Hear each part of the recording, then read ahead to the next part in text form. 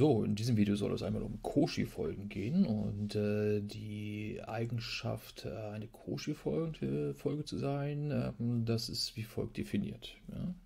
Also wir haben die Definition und äh, eine durchaus komplexe Folge, also es kann eine reelle Folge sein, es darf aber auch eine komplexe Folge sein, eine komplexe, komplexe Folge AN.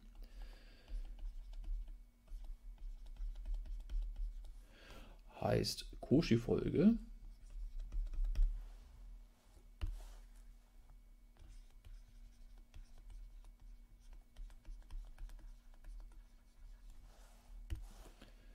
wenn sie folgende Eigenschaft äh, besitzt.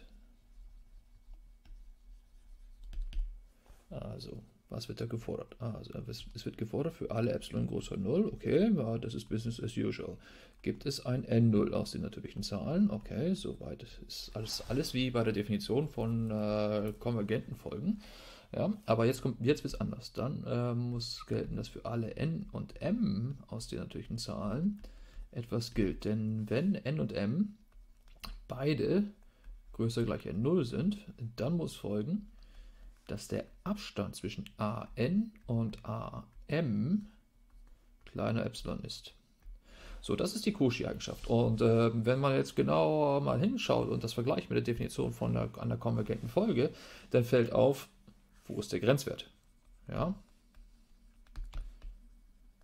Denn äh, den hatten wir in der, in der Definition äh, von einer konvergenten Folge äh, nämlich gefordert. Da stand nämlich drin, es gibt ein Alpha.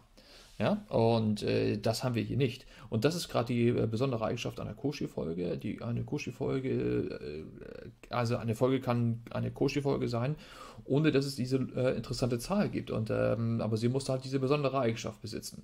Ja, ähm, das heißt, ähm, wir haben hier irgendwie keinen Grenzwert. Ja, ähm, dieser, äh, diese Zahl ist also nicht nötig. Das ist dann äh, schon mal ganz praktisch, wenn wir zum Beispiel eine Folge haben wie diese hier.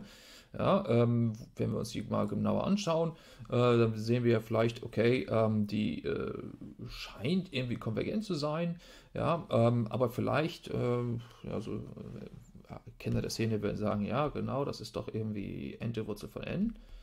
Ja, ähm, das stimmt. Äh, äh, aber vielleicht erkennen wir den Grenzwert nicht genau, oder? Also die scheint ja, die scheint gegen 1 zu gehen. Wir haben in einem anderen Video auch gezeigt, dass sie gegen 1 geht, aber wenn man den Grenzwert nicht genau kennt, ja, und trotzdem zeigen will, dass, ähm, dass diese Folge konvergent ist, dann äh, ist die Frage, wie macht man das? Und die Antwort ist eben halt, äh, man zeigt, dass diese Folge eine Cauchy-Folge ist. Das ist also das, was äh, diese Cauchy-Eigenschaft mit sich bringt, ja, ähm, dass man nämlich ähm, diesen einen Nachweis erbringen kann, äh, okay, eine Folge kann Cauchy sein, also diese Cauchy-Eigenschaft haben, ja, ähm, ohne dass man eine gewisse Zahl angeben muss, nämlich, sondern man, man muss nur etwas wissen über die, über die Verhaltensweisen der Folgenglieder. Ja, deren Abstand darf nicht beliebig groß werden. So, wenn, wir, wenn ich mir jetzt das vorstelle, was bedeutet das eigentlich? Das bedeutet eigentlich, ähm, äh, diese, dass diese Eigenschaft wie folgt aussieht. Also ähm, für, man wünscht sich also quasi die, wieder dieses Epsilon und sagt, okay, ich wünsche mir ein Epsilon. Ja, und dann muss es eine Zahl n0 geben, die ist dann irgendwo hier zum Beispiel. So, das ist n0. Und äh, wenn ich mir jetzt äh, diese N, äh, Zahl n0 wähle, bedeutet das, ja, ähm, dass ich dann auch es schaffe, einen Epsilon-Schlauch zu bilden. Ja. Und dann sind alle Folgenglieder innerhalb dieses Epsilon-Schlauchs, ja, mehr oder weniger. Ja, ähm, nur die Höhe, wo dieser Epsilon-Schlauch ähm, angebracht wird, das ist nicht festgelegt. Ja? Das heißt, wenn, mein, wenn ich ein anderes Epsilon wähle und ich ein, äh, ein anderes N0 habe, kann es sein, dass ich, das, ähm, dass ich das, diesen Epsilon-Schlauch irgendwie tiefer ansetze oder höher ansetze. Ja?